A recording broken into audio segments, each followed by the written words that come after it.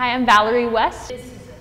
I was completely shocked because I knew there would be some sort of twist because, you know, they have to change it up for the second season.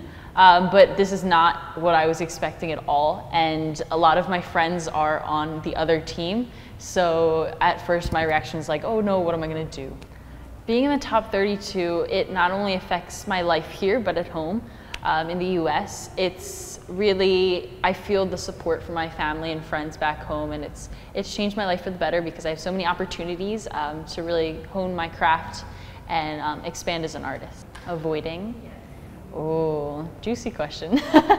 Um, I really respect Jeremiah as an artist. I think he's an amazing, amazing um, singer and person as well. Um, as I also don't want to go against um, Thea because she's one of my closest friends and she has a crazy, crazy good voice. So those are the top two I think that I would really not want to touch right now.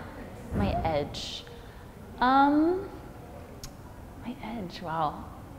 I don't know, I think my emotion when I sing for every song, I really try to find a personal connection. And I think it comes across when I'm singing that I feel the song. And that's the most important thing for me as an artist is to make a point and get a message across. So I think that my emotion is one of my strongest um, assets.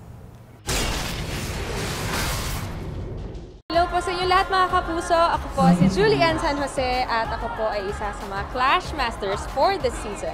If you like this video, please do subscribe to GMA Network's official channel.